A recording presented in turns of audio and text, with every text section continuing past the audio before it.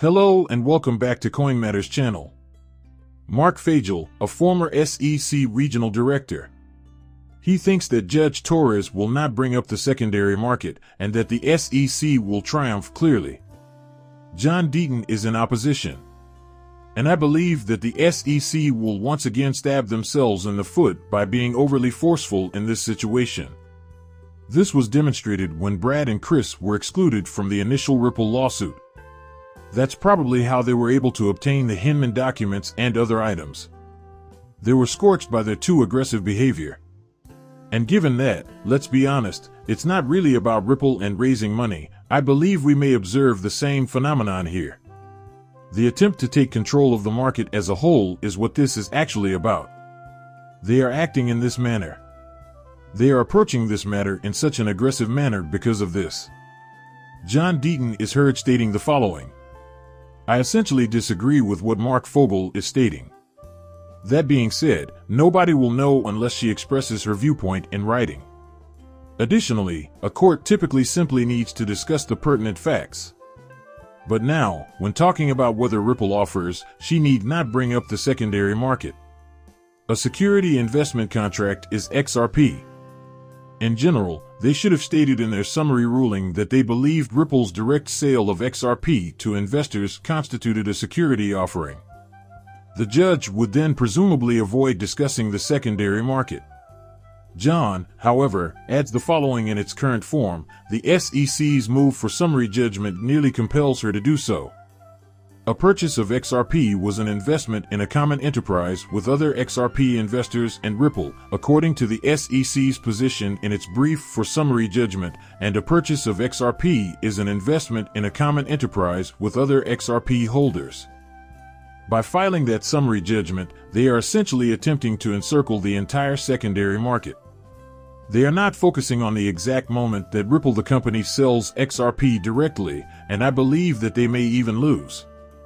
Personally, I think Ripple is trading a genuine good. They have the right to sell it as an asset.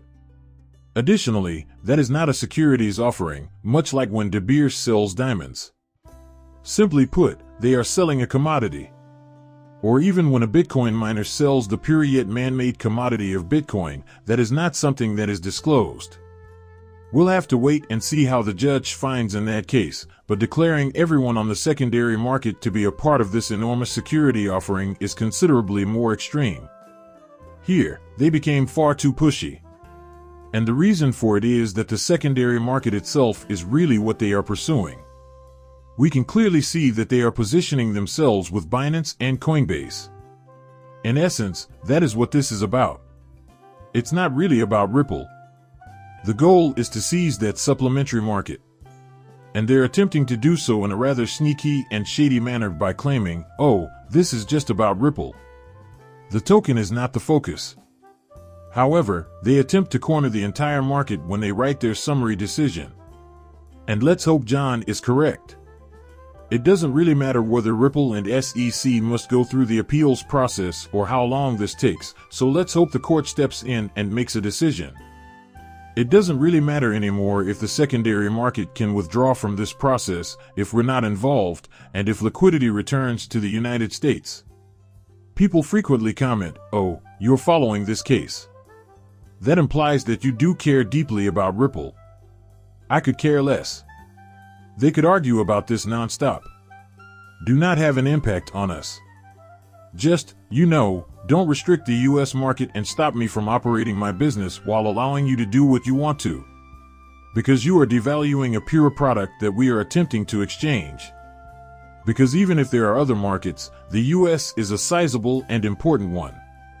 There is a lot of liquidity and value flows. And if we get that back, XRP will triumph handily.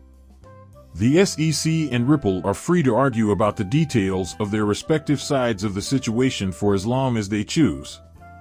If the judge determines that the secondary market represents the transaction of a pure commodity, it will be a significant triumph. We can carry on with business as usual because this is not a part of this insanity. The SEC's cases against Binance and Coinbase will also suffer a great deal from this. More Coinbase, in fact. There's a lot more to the Binance information there, but we'll have to wait and see. Please comment below with your thoughts. The secondary market will be discussed by the judge, or will Ripple just win because they are selling a pure commodity outright? Please like and subscribe as always. Bye.